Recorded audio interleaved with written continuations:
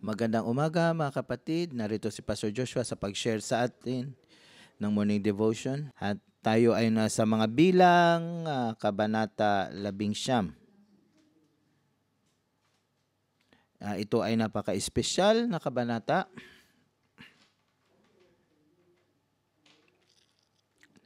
Bakit bigla na lang sa kabanatang ito uh, sinabi na uh, ang pag uh, sunog sa pulang baka. At uh, ito ay ihalo sa tubig upang uh, maglinis ng kasalanan.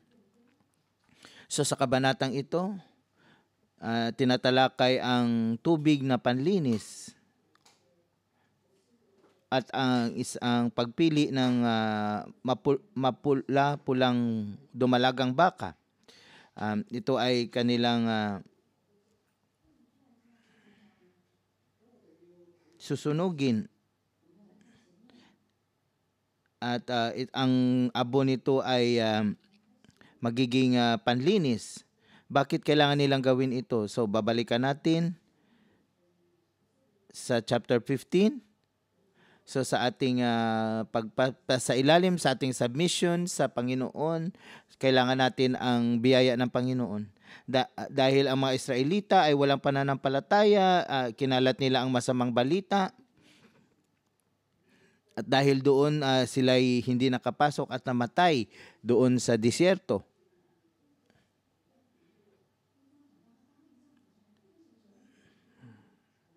Kahit na sila ay nagkasala sa Panginoon, kailangan pa nilang manalangin sa biyaya ng Panginoon. Kailangan nila ibalik ang kanilang uh, pakikipag-ugnay sa Panginoon. Kaya nga meron silang uh, uh, offering. Meron silang uh, paghahandog na ito. Itong um, itong uh, offering na kailangang maamoy ng Panginoon upang mapatawad ang kanilang mga kasalanan. So kailangan nilang uh, uh, magsunog ng uh, uh, handog para sa kasalanan na maging mabango para sa Panginoon. So uh, sa susunod na uh, chapter, uh, sinabi na hindi, hindi natin hamakin ang Panginoon katulad ng ginawa ni Korah kung merong mga nangyari, ang mga pari ay kailangang uh, tumugon doon at gawin ang mga bagay na ito dahil sila ay nakatayo sa ministeryo ng buhay at uh, kamatayan. So kailangan nilang uh, uh, uh, gawin ito upang mapatawad ang, ang mga kasalanan na ginawa. At sa chapter 18, ang pari ang ang pamagat na ibinigay ko sa inyo kahapon ay submission, uh, gifts and ministry. Ang So ang ang mga pari at ang mga lebeta ay kailangang uh, uh, bantayan ang toldang tipanan at ang kabanang tipan yan ay ang presensya ng Panginoon. Kailangan nilang panatilin at pangalagaan ang presensya ng Panginoon. Dahil kung sino mang tao na lalagpas doon sa boundary, sila'y mamamatay. So binigyan sila ng Panginoon ng regalo ng ministeryong ito, ang ministeryo ng buhay at kamatayan. So ngayon tinatalakay natin itong mabangong uh, handog sa myo sa Panginoon at ang paghahandog para mapatawad ang kasalanan. So hindi natin dapat hamakin ang Panginoon nalalagpas tayo doon sa boundary na ibinigay ng Panginoon. Kapag ginawa natin ito, tayo hinaham, hinahamak natin ang Panginoon. At dito patuloy na sinasabi sa atin kung ano ang mga ginagawa ng mga pari.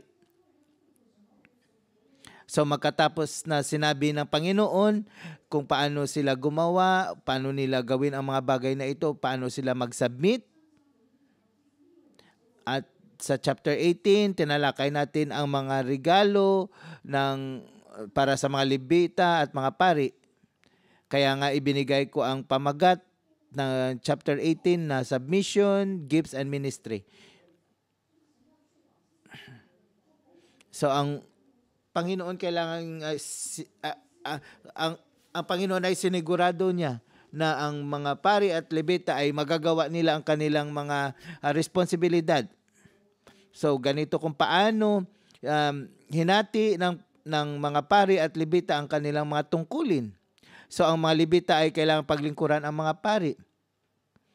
So uh, simula ng sinabi ng Panginoon kung paano nila gawin ang paghahandog sa para sa panlinis ng ng kasalanan, ito ay para protektahan ang, ang presensya ng Panginoon at ang mga tao. At ang mga tao ay hindi dapat lumagpas doon sa boundary na ibinigay ng Panginoon. Ang mga pari at libita ay kailangang bantayan at protektahan ang mga tao pang sila hindi makalapit doon sa boundary na inilagay ng Panginoon at gawin kung ano ang sinasabi ng Panginoon. So ito'y regalo ng Panginoon sa kanila. Ano man ang kanilang natanggap ay galing lahat sa Panginoon. So ito ay ang uh, one-tenth ng uh, uh, paghahandog ng ng mga tao, mga Israelita sa Panginoon. At ang one-tenth na ito ay uh, para sa mga Levita at ang mga Levita ay kailangan ibigay ang uh, ang pinaka uh, best ng one-tenth sa mga pari. So kaya nga kahapon ginawa natin ito as wave offering bilang kasama ang mga tao na narito on site. So ito ay banal na alay para sa Ginoo sa Panginoon. So So, pwedeng kainin at gamitin ng mga Levita ito. At sinabi niya na ibinigay ko aking sarili bilang um, kanilang mga parte, kanilang bahagi. So, kailangan nilang gawin ito at dito uh, napanatili nila ang presensya ng Panginoon. So, meron silang uh, um, meron silang sin offering. Uh, paghandog para sa kapatawaran ng kasalanan. So kung ang mga ang mga tao ay nagkasala, meron silang sin offering at ang please, uh, pleasing aroma offering para mapanatili nila ang mabuting pakikipag-ugnay nila sa Panginoon. So dito makikita natin kung gaano kaimportante ang mga pari at ang lebita. At ang mga Israelita ay hindi nila hamakin ang Panginoon at kailangan nila makita na napaka-importante ang presensya ng Diyos sa kanilang kalagitnaan. Ang mga Israelita, kung sila ay nagkakasala, dapat maghandog sila ng uh, sin offering at um, uh, pleasing aroma offering. So, dito sa chapter 19, um, tinalakay kung paano sila uh, pumili ng uh, pulang baka paano nila ito sunugin at ihalo sa tubig at uh, gawing tubig na panlinis. So Hyper, sabi natin, uh, uh, katulad ng isang brand, pangal sa pangalan. So dito pakikita natin kung pa, uh, paano ito na iugnay sa uh, nakaraang chapter, kabanata. So ito ang ang abo na galing dito sa sinunog na pulang baka at ang tubig ay ito ay panlinis para sa mga kasalanan. At sa kabanatang ito ay sinasabi may sinasabi na kamatayan. So ito ay itang isang special na ordinance. Bakit biglang uh, uh, pumunta sa uh, kabanatang ito? Uh, mula sa chapter 15 uh, nagtatalakay sa presensya ng Panginoon na kasama nila doon sa Toldang Tipanan at nakita nila ang kaluwalhatian ng Panginoon sa kanilang kalagitnaan. Alam nila uh, uh, para ma-deal ang kasalanan ay kailangang uh, uh, maghandog ng uh, handog para sa kapatawaran ng kasalanan at uh, magsunog para ma- isang mabangong samyo para sa Panginoon. So, ang mga pari ay kailangan nilang gawin ang mga ito. Kaya nga ang posisyon ng pari ay regalo rin sa Diyos at ang kanyang ikabubuhay ay uh, uh, pinaglalaanan ng Panginoon. At ang Panginoon ay ang kanyang inheritance, ang kanyang mana. Ang ang pari ay hindi na kailangang kumuha ng anumang mana sa sa mga uh, tribo So dito sinigurado ng Panginoon na, kay, na magawa ng pari ng buong puso ang kanyang uh, responsibilidad, ang kanyang tungkulin. So siya ang taga-akay ng mga tao sa presensya ng Panginoon sa Toldang Tipanan. Ang mga, kung ang tao ay magkakasala, kailangan nilang pumunta sa Panginoon at uh, maghandog ng kanilang mga uh, handog, uh, mga baka, kung ano man sa kanilang livestock. At ito ay uh, offering para sa kapatawaran ng kasalanan upang sila ay mapatawad. So ito ay napaka-importante.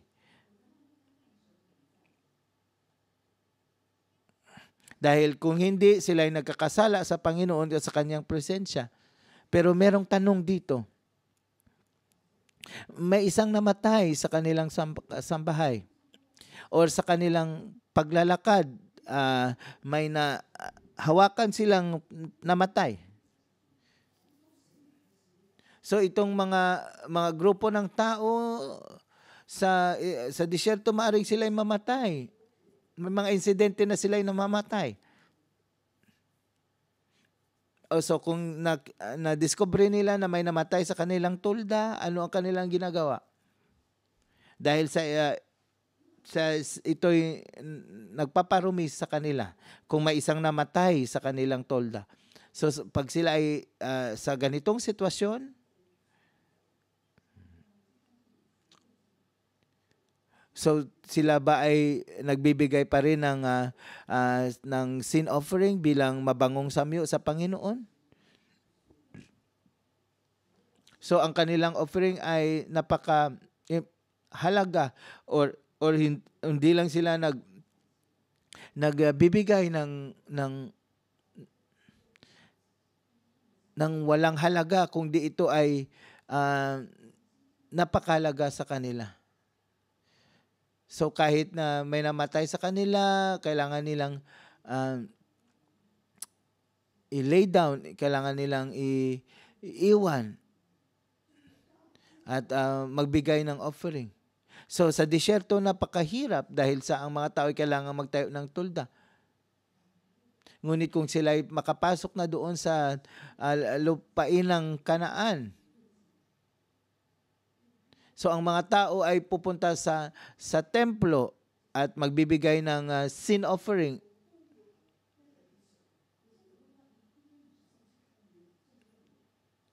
So so uh, ang ibang tao ay nasa malayo, masyadong malayo sa templo. So ano paano sila uh, makakagawa ng kanilang mga offering or paano matutugunan ang ang ang kanilang paghandog para mapatawad ang kanilang kasalanan. So makita natin sa chapter 19 na kailangan nilang i, uh, ibaba ang lahat, i-lay down ang lahat katulad nitong uh, paglilibing sa mga kanilang mga patay. So dito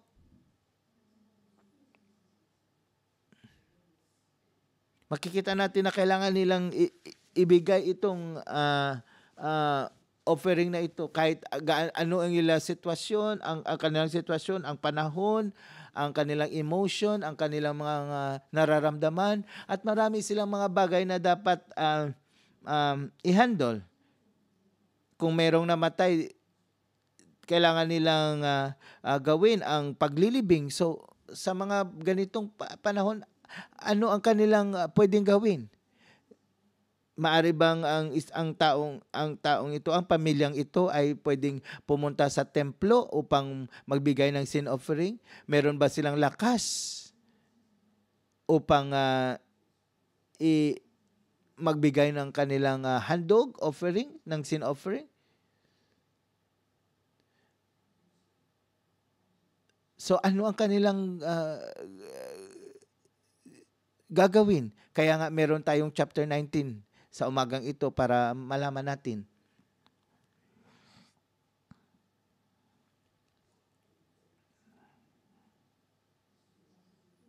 So, uh, ang kabanatang ito ay grace, ay uh, biyaya ng Panginoon. Ang biyaya ng Panginoon higit pa doon sa sa sin offering. So kailangan nating gumawa ng uh, atonement kahit na merong namatay sa iyong pa- pamilya, kailangan mong um, i-handle ang mga ito. So kung uh, kahit na may nahawakan ka na uh, namatay, ay ito ay nagiging uh, nagiging map, na, napaparumi ka o ang tao. So pwede ka lang ba pumunta sa templo upang magbigay ng ng sin offering, mag-offer sa Panginoon? Hindi. Kaya nga ibinigay ng Panginoon ang chapter 19 para malaman natin kung paano nila tutugunan ang mga ganitong sitwasyon.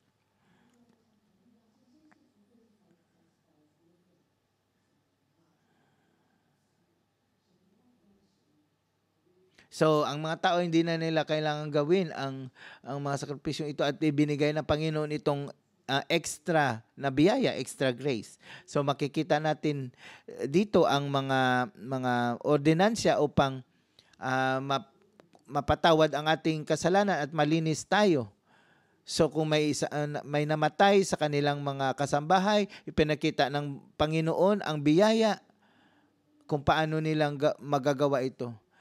So, ibinigay ng Panginoon ang ang biyaya sa pamagitan ng paggamit ng abo ng uh, uh, ng pulang baka na sinunog bilang uh, offering sa kasalanan at tubig upang sila'y malinis para hindi sila uh, magkasala sa presensya ng Panginoon. So dito natin makikita na napakalaki ng biyaya ng Panginoon ang kanyang habag. So tingnan natin kung anong nangyari sa kabanatang ito.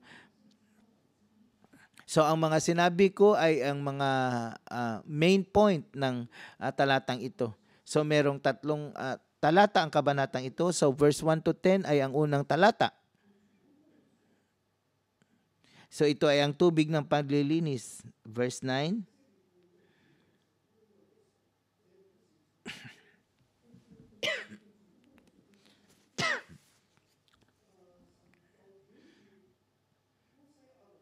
So, in, uh, prepare nila, nilaan nila ang uh, tubig ng panlinis. So, ito ay ang tubig ng panlinis na gagamitin ng, ng mga Israelita sa second part ng verse 9. So sa verse 1, sinabi ni Yahweh kina Moses at Aaron, sabihin ninyo sa mga Israelita na pumili ng isang mapu- mapula-pulang dumalagang baka na walang kapintasan na hindi pa nagtrabaho kahit kailan. Ito'y dadalhin ninyo nila sa inyo at ibibigay naman ninyo kay Elisar upang patayin sa labas ng kampo habang siya'y nakatingin. So so ibibigay ito at uh, pinatay sa labas ng kampo sa mga tao. So hindi ginawa ito ni Elisar na pare, kundi ang mga tao. Ngunit si Elisar ay nakatingin lamang. So, ang So, si Elisar la, la, ay nakatingin lamang habang binibigay ng ng mga tao itong bakang pula. Kailangan niyang examine ang ang bakang ito kung ito ay may depekto o wala. So, bibigay ng mga tao ito. So, So, uh, sa pag uh, sa proseso ng pagbibigay, so kailangan nilang dalhin ang baka sa labas ng kampo. So So ang So ang mga ordinaryong uh, tao, sila yung mga malilinis. Uh, hindi sila na rumi, kailangan silang kailangan nilang uh, patayin ang bakang ito at ilubog ni Elisar ang kanyang daliri sa dugo nito at pitong beses ulit na wisikan ang harap ng tuldang tipanan. So itong bakang na ito ay nagre-represent sa kay Kristo at si Kristo ay ibinigay niya ang kanyang sarili upang mapatawad ang ang mga kasalanan. Bago nila sinunog sunugin itong baka, um, kailangan iwisikan ng pari ng pitong beses sa pamagitan ng dugo ng bakang ito. Verse 6, habang sinusunog nito, ang pari ay kukuha naman ng kahoy na sidar at hisopo at lana at isasama sa bakang sinusunog. So itong bakang pula at ang uh, scarlet wood, ang kahoy na sidar ay um, para mapatawad ang kasalanan. Ito ay offering, ng, sin offering.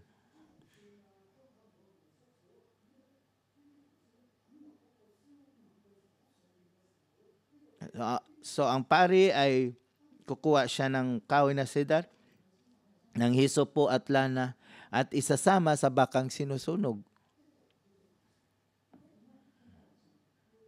So sila'y magiging uh, ceremonially na marumi. Pagkatapos sil- sila'y uh, lalaban ang kanilang kasulu- kasuotan, maliligo, sa kapapasok sa kampo. Sila'y magiging marumi kahit ang uh, ganun din ang katulong sa pagsunog magiging marumi kailangan nila maligo at, laba, laban ang, ang kanilang mga damit. Sa verse 9 ang abo ng sinunog ng baka ay iipunin ng sinumang malinis. Ayon sa kautusan ilalagay ito sa isang malinis na lugar sa labas ng kampo. So ang abo ng sinunog ng na baka ay kailangan ilagay sa labas ng kampo. Ito ang gagamitin ng Israelita sa paghahanda ng tubig na panlinis ayon sa kautusan ito ay second half ng verse 9. So, so ang uh, para ang purpose ng tubig na ito ay para panlinis ng kanilang makasalanan sa yeah um, so ito ang tubig na panlinis ay nasa labas ng kampo uh, kasama ang abo ng sinunog na baka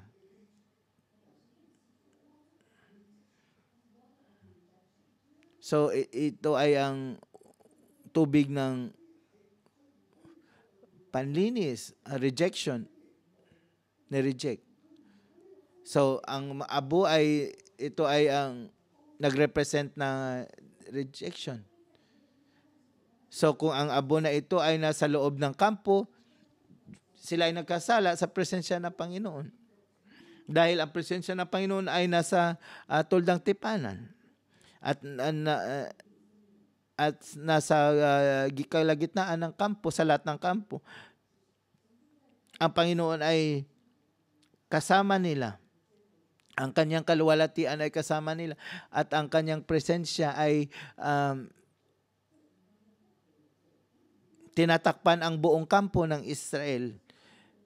So sa kanilang kampo kailangan walang kasalanan. Kaya nga kailangan ilabas ang abo at ang uh, tubig ng panlinis sa labas ng kampo. So ito ay ginagawa ng mga tao at kailangang uh, uh, i-examine ng pari ang mga ito.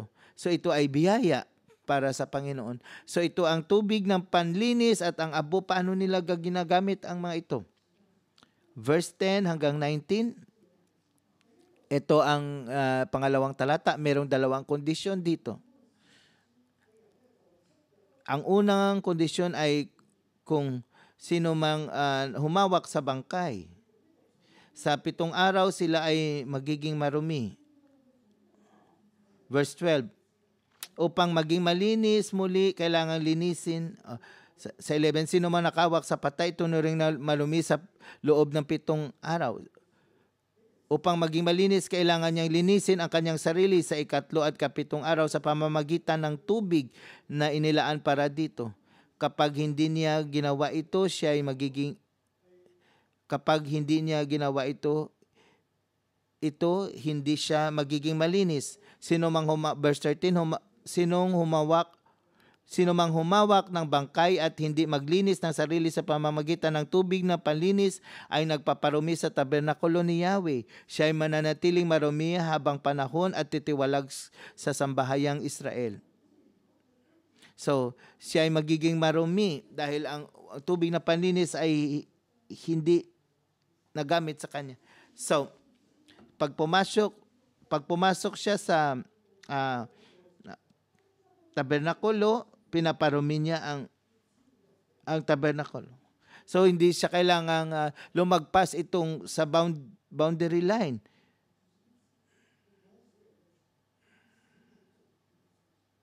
So dito uh, ang kapag sila ay nakahawak ng bang ng ng ng patay o ng bangkay, sila ay um, kailangan maglinis. So ano ang, i- ang ang kanyang gagawin kung siya ay nasa Eastern Camp, ano ang kanyang gagawin? So kailangan niyang ah, lumabas doon sa Easter, Eastern Camp na kampo. Kung ang ah, tubig na panglinis ay nasa West, kailangan niya pumunta doon upang malinis. At sa ikatlong araw, kailangan niyang ah, malinis sa pamamagitan ng tubig na panlinis at sa ikapitong araw, pwede siyang pumasok sa ulit sa kampo at siya malinis na. Kung hindi niya ginawa ito sa pamamagitan ng tubig na panlinis, siya ay magiging marumi. So kung may nakahawak siya na nakahawak siya ng bangkay at hindi siya nakaalis agad. At sinabi niya, okay lang. So siya ay nagkakasala. So siya, hinahamak niya ang Panginoon. Siya ay nagkasala sa tabernakulo. At siya ay ititiwalag.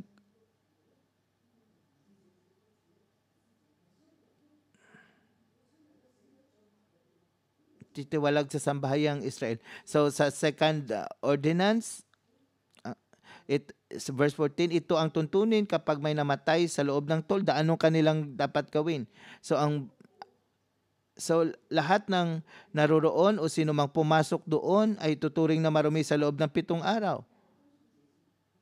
Pati ang mga sisidlang walang takip ay tuturing din na marumi.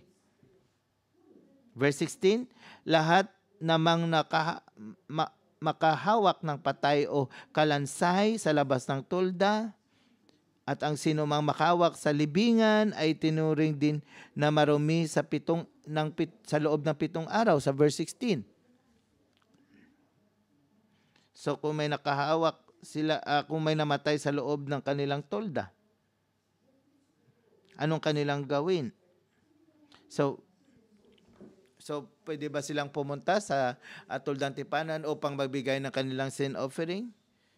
Or ibigay sa pari para gawin gawin ng pari sa kanila? Hindi. So ano ang kanilang gawin kung may isang may isang namatay sa kanilang tolda? So um, beyond pa doon sa sin offering merong ibinigay na biyaya para sa kanila kung paano nila pil, paano nila magawa ito. So itong uh, mga taong ito na nakahawak ng patay o libingan o kalansay, kailangan nilang lumabas ng kampo. Verse 17, ang mga itinunur, it, tinuturing na marumi dahil sa paghawak sa mga patay, kalansay o libingan ay kukuha ng abo na galing sa sinunog na handog para sa kapatawaran ng kasalanan, ilagay ito sa palanggan ng may sariwang tubig. So kung merong namatay sa kaniyang pamilya or um, sa kanyang paglalakbay, uh, nakahawak siya ng napatay, So, uh, kailangan niya lumabas ng kampo at tutulungan siya ng isang taong malinis.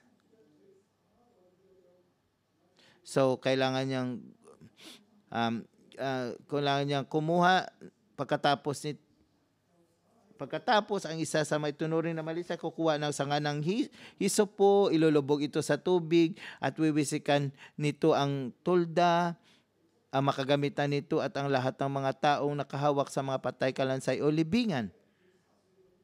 Verse 19, sa ikatlo at ikapitang araw, ang itinuturing na marumi ay wisikan ng sino mang itinuturing na malinis. Pagkatapos lalaban ng itunuring na marumi ang kanyang kasuotan at siya ay maliligo sa kinabi, kinagabihan, ituturing na siyang malinis. So, ang sino mang uh, na itinuring na marumi ay kailangang wisikan ng tubig na panlinis sa ikatlo at kapitong araw. So, pagkatapos laban niya ay tinuturing na marumi. So, ang so ang mga tao na malinis ay kailangan din nilang labhan ang kanilang uh, kasuotan at maligo. So binigyan sila ng Panginoon ng special grace. Kung may namatay sa kanilang pamilya o uh, nakahawak sila accidentally sa mga patay, anong kanilang dapat gawin dahil sila ay narumihan? Ano ang kanilang gagawin? So binigyan sila ng pamaraan sa, ng Panginoon sa labas ng kampo.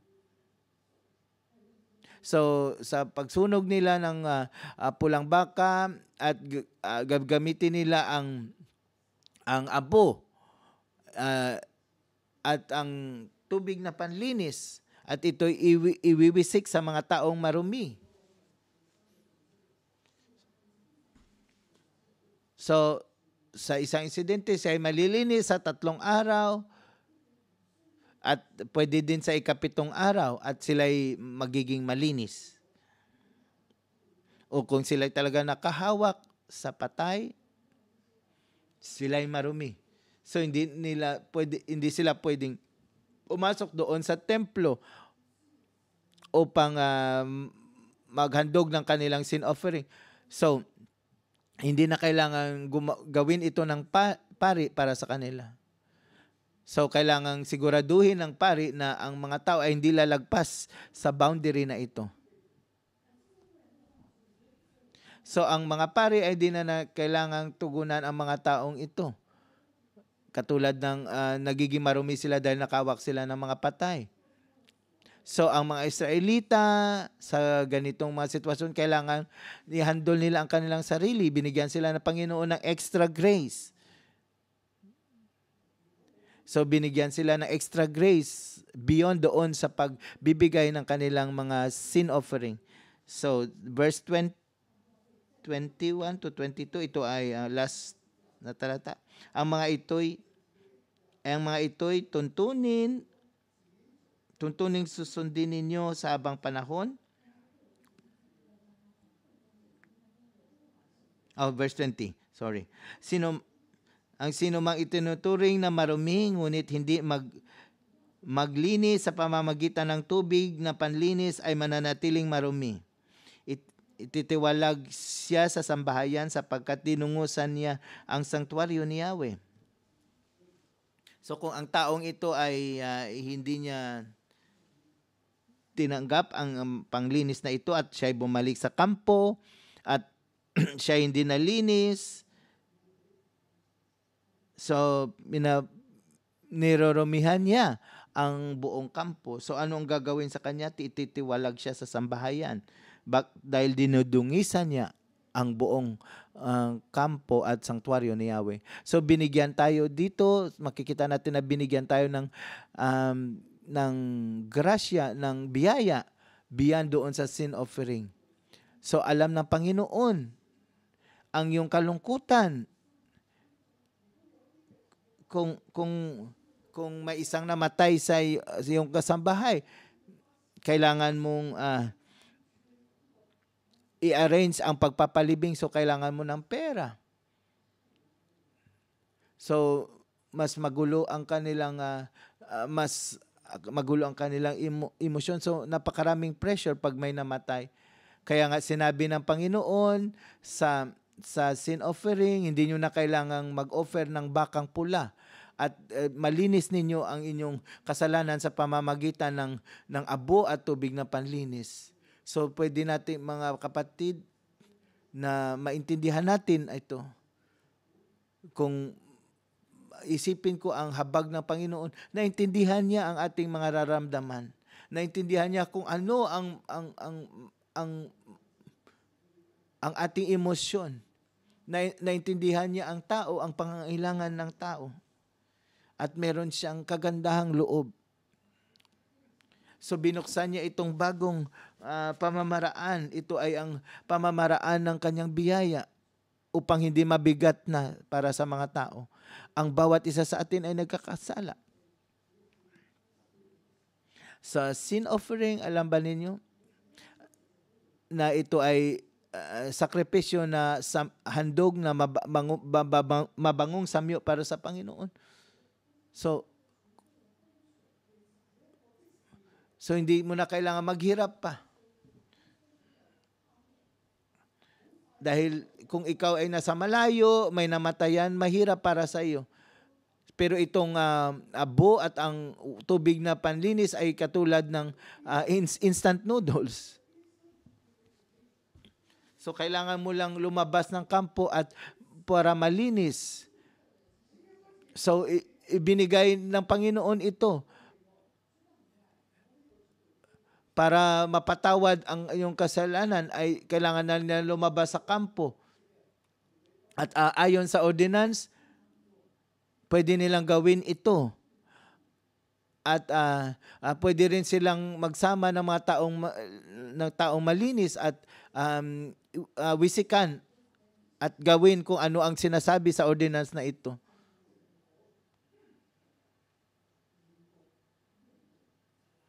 So hindi lamang hindi lamang uh, pwedeng uh, uh, kumuha ka ng abo at tubig, kailangan i-examine ito ng mga pare.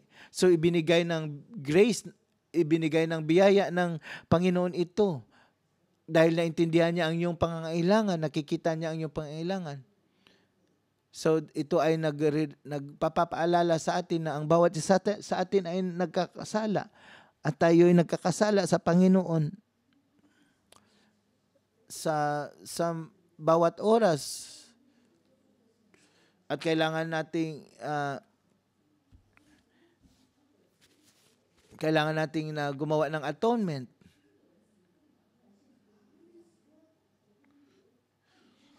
So ano ang yung gagawin? Kung may isang may namatay, ikaw ba ay pupunta pa doon sa sa sanctuaryo upang magbigay ng baka, magsunog ng baka? Dahil sa mga sa mga kahirapan na nararamdaman mo? Hindi ang nagbigay ang Panginoon ng biyaya na pwede kang malinis sa pamamagitan ng tubig na panlinis at sa sa abo. So pwede natin gawin ito. Ito ay biyaya galing sa Panginoon. So So kung gagawin natin ito, mararanasan natin ang presensya ng Panginoon at tayo na nagkakasala ay patuloy na uh, mabubuhay. So ang Panginoon ay, ay inihandog niya ang ang ang mga libeta at pari para protektahan ang mga tao. At ang tubig na panlinis at ang abo ay ginawa na sinabi ng Panginoon para i protektahan ang buhay ng, ng mga Israelita upang sila'y malinis. Ang presensya ng Panginoon ay sa kanilang kalagitnaan. Ngunit para sila'y makalapit kung may namatay sa kanila at sila'y naparumihan, ano ang kanilang gagawin? Hindi dahil doon na, ah, na, na nandun ang presensya ng Panginoon, sila mamamatay o sila ay nagkakasala. Sila hindi pwedeng lumapit sa Panginoon, sila ay mamamatay. Hindi nagbigay ang Panginoon ng ganitong biyaya upang sila ay malinis. Ito ay ang pamamaraan ng kanyang biyaya upang sila ay makalapit muli at malinis.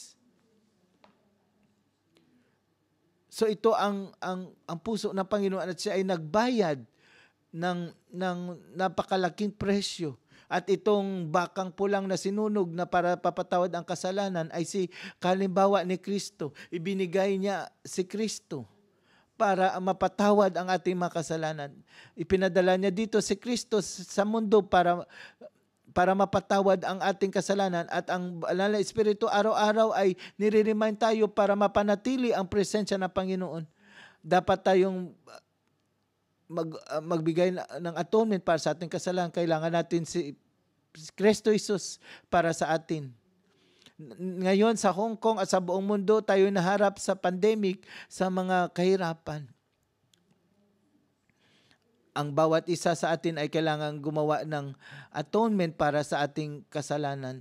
Kaya nga sa uh, darating na linggo tayo ay gagawa ng atonement para uh, sa ating mga kasalanan. So sina- inihingi ko sa ating mga uh, kapatiran na magbibigay tayo ng offering, a sin offering para sa katawaran ng ating mga kasalanan at tayo ay mag uh, communion sama-sama at tulad ni itong uh, baka na sinunog para sinunog at ang uh, kasama ang sidar na kahoy, ang hisopo at ang pulang uh, uh, tela. Ito ay nagre, nagre-represent kay Kristo. Si Kristo ay namatay sa labas ng kampo. Siya ay ipinako sa krus sa kahoy. Ang kanyang dugo ay dumaloy para sa atin. So si Jesus ang ating atonement offering At itong pulang baka ito ay nag ah, re-represent sa kay Kristo na nag namatay dahil sa at- so natanggap natin ang kanyang dugo. At sa araw ng atonement gagawin natin ito para tayo malinis. At sa araw ng atonement tayo mananalangin para sa buong lungsod at malinis ang buong lungsod. Ako ay naniniwala na ang Panginoon ay pinapangunahan tayo na gawin ito sa araw ng atonement, ng pagpapatawad ng kasalanan. So sa sa araw ng atonement, magkaroon tayo ng service sa Sabado at Linggo. So tayo manalangin para dito. Ang Panginoon ay pinaalala sa atin ngayon gamit ang kaba natin ito. Purihin ang Panginoon at pagpalain kayo. At dito nagtatapos ang ating ah, ah, morning devotion sa umagang ito. Maraming salamat sa pakikinig.